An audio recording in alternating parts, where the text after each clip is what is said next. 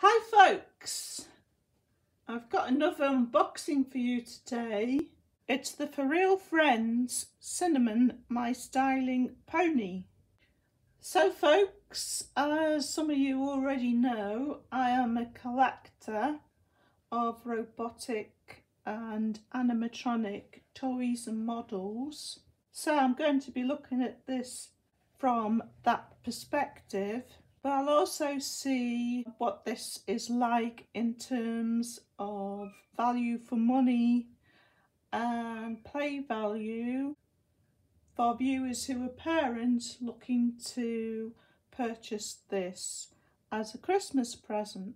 And if you do decide to purchase this, I will be much obliged if you use one of the links below to Amazon in the description as this supports the channel.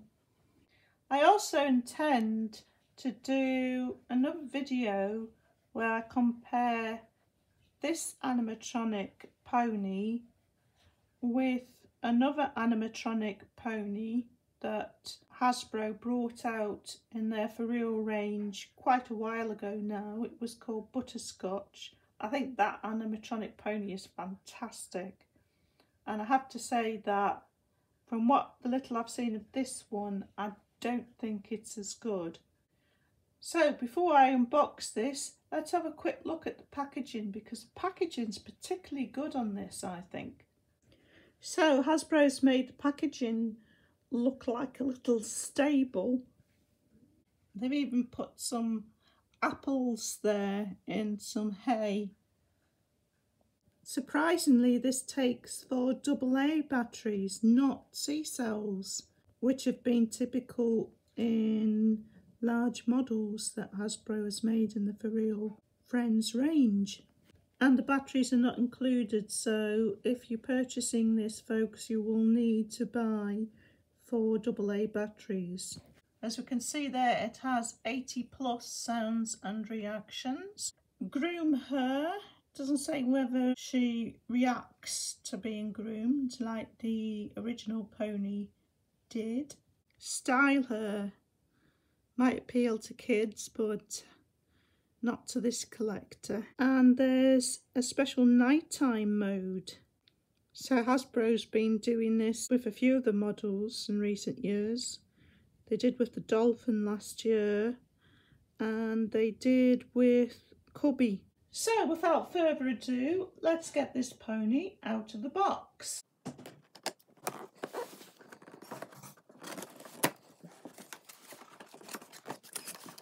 So when you open it up at the top, you've got a little gift box here. I think that must be for the styling accessories.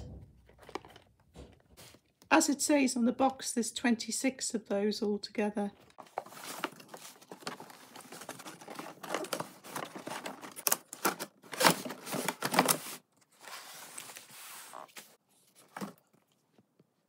the instructions are in the bottom of the box.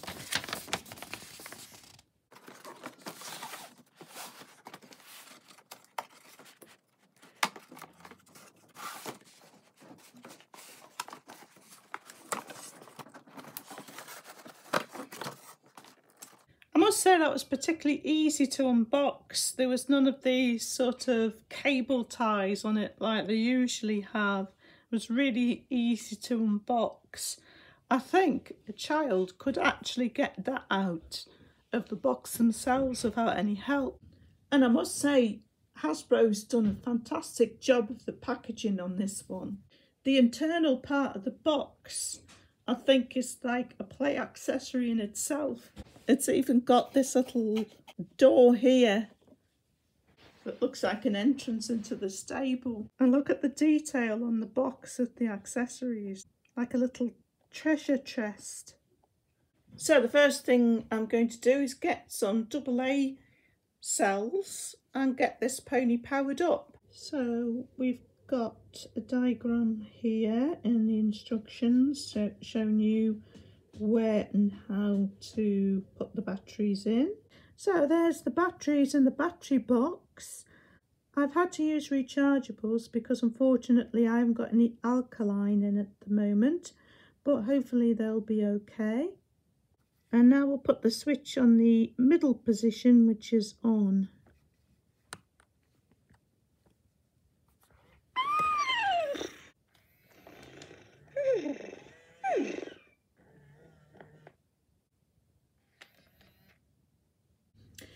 So this diagram shows where the activation points are on the pony's back, on the muzzle, on the cheeks and in the mouth. So first we'll look at the activation point on the pony's back. Press and hold to hear a song.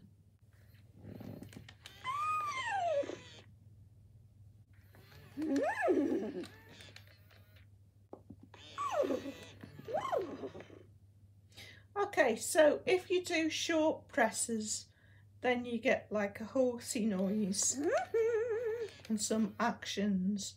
So you got to actually hold it down to get the song.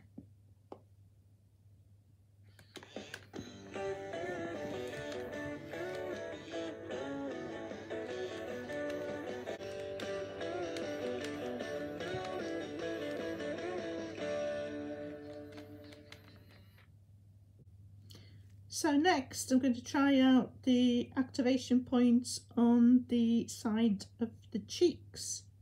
So here's what the pony does when you stroke this side.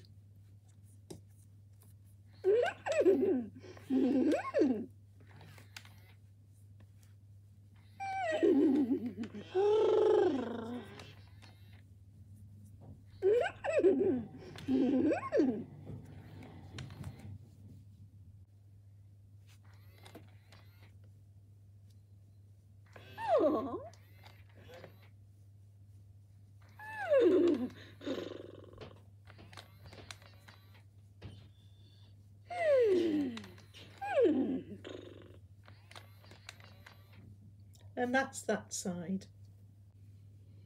And then we've got touching the muzzle, which looks like it has the response of the cheeks glowing. I didn't notice this the first time I got to play the tune, but the cheeks light up when it's playing the tune.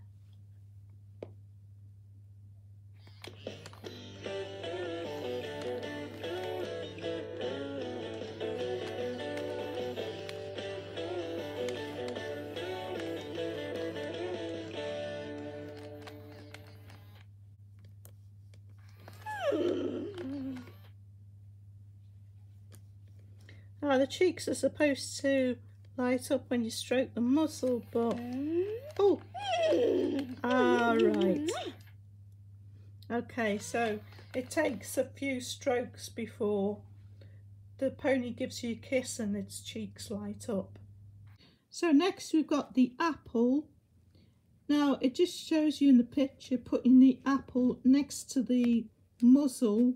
So I'm not sure if it's just asking you to do that or if you've got to actually put it in the mouth because normally on these sorts of toys they have a, a switch in the mouth under the tongue but the diagram's not that clear so we'll just have to see.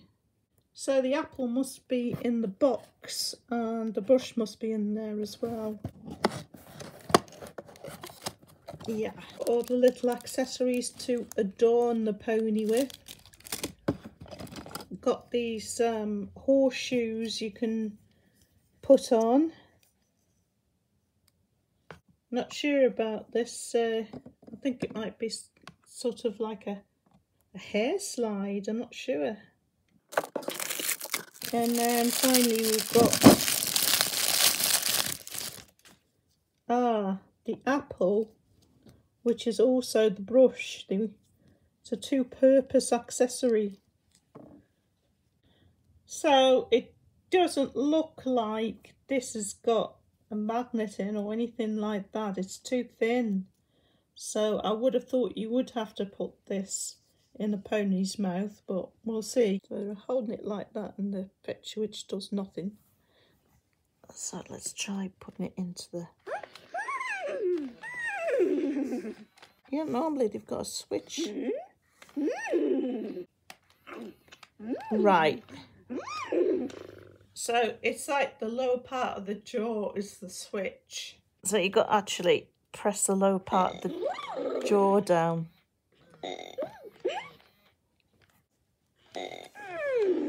That's quite interesting. It's making lots of belching sounds like it's had too much apple and it doesn't want any more.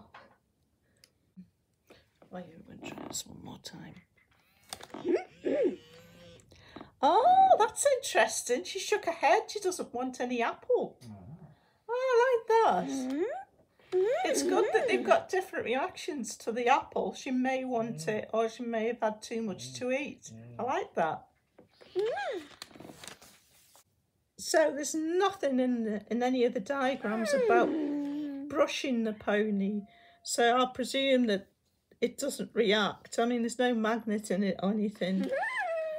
And um, yeah, I don't think it reacts at all to the brush. So both the front legs and the back legs are poseable. Oh, these are really quite stiff. That's the back legs. So you can make the pony sit. And the front leg is jointed like that. But only that one. The other one isn't.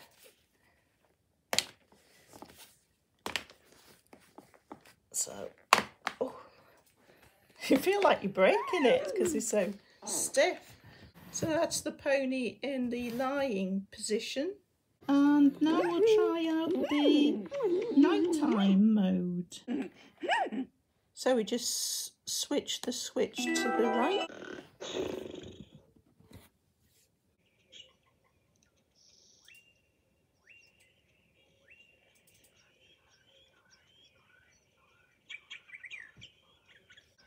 And then plays light nighttime noises. really quite pleasant. Mm. It's changed into sort of spacey music now. Mm. With uh, nighttime sounds before. So we'll just give a sort of summing up while I show you some of these accessories. So Paul, first of all, for a child, what do you think? Do you think this has got a decent amount of play value for a child? Yes. Yes, I do too. Yeah, no question about that. That's how the decorative horseshoes go on. Pretty. I think whilst these things are really gimmicky for adults who like to see, you know, animation in yeah, things, yeah. um, as a children's toy, uh, I would think that a kid will yeah, like I think if I was messing kid, about I, I was with like these. playing around with all like the horseshoes. And what's that? Is that for I, putting over I the? think that's for putting over the. It's um, like a hairband, a flowered I believe it goes yeah? there like that. So, how about if you are someone who's a collector? Mm, not so much if you're a collector. It doesn't really. Um, it's not really like butterscotch. I don't know if you. Yeah. you, Well, I'm going to do a comparison between this and butterscotch. Um, what I would say is that this seems like to have done some things on the cheap that butterscotch didn't. Oh yeah. And I'll explain that when I do my comparison video. See those flowers you're clipping onto the hairband now on the horse. I think that's. I think kids would love doing that. Yeah. So, folks, I hope that gives you some idea, whether you're a collector or a parent, thinking about getting this as a present. Thanks for watching as always, and see you real soon in my comparison video.